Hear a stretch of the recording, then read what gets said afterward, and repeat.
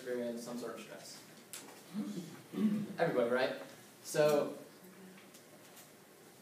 I'm sure we can all uh, I'm sure we can all relate to the overwhelming feeling of helplessness.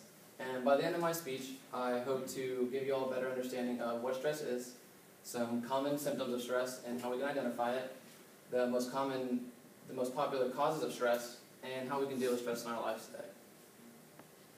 So what is stress? Stress is defined as the body's way of reacting to any type of demand. So what this means is anytime something is asked of us, our body sends off certain chemicals that give a person more energy or sometimes strength. And most of so there's good stress and bad stress. Most of you have heard of fight or flight response. The fight or flight response is, is a perfect example of good stress because when, like I said, when the body is stressed, we release chemicals. So when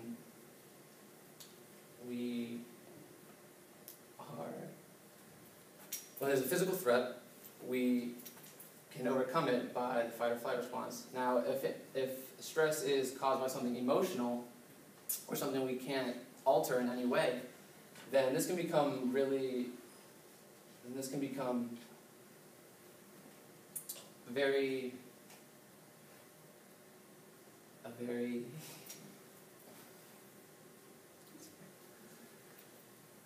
this can become an issue for our mental and physical health.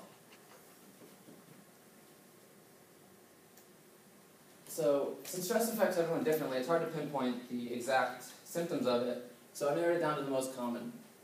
First one I want to talk about is the inability to concentrate. So this is when somebody feels like they're always thinking about what they're stressed about, keeping them from some certain work at hand, and this, become, this can become an issue. Next one is agitation or the inability to relax. So this can be when somebody just feels like they always need to be doing something and they can't just sit down and watch TV or something. Next one is nausea or dizziness. This is when someone becomes actually physically ill due to their stress. They might get stomach ache or, or headaches. And the last symptom is irregular sleep patterns. So if you notice yourself sleeping more than usual, sleeping less than usual, or maybe you wake up in the middle of the night, this can be all signs of stress. And I got this all from healthguide.org.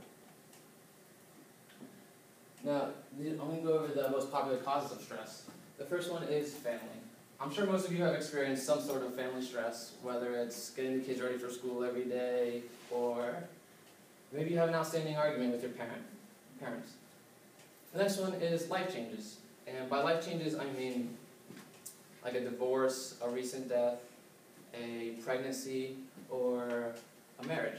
Now, even though some of these life changes can be positive things in your life, they can sometimes bring some extra responsibilities or expectations that you might not be ready for. Another one is work. No matter how many jobs you've had or where you work, it doesn't matter. It doesn't matter. One thing is always guaranteed, and that's that you're going to have to meet the expectations and demands of the employer, or you're going to get fired.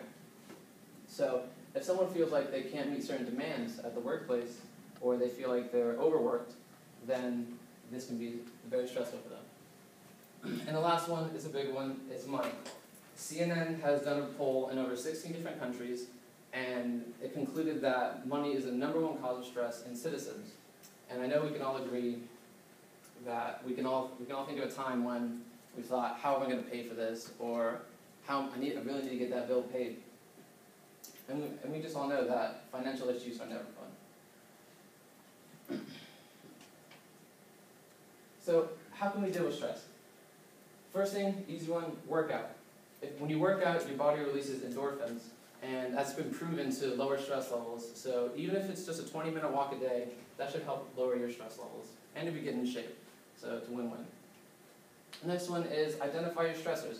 So if you know what is stressing you, and you can you can try to either invite, you can either try to avoid it entirely, or try to alter it to where it, it, brings you a little less stress.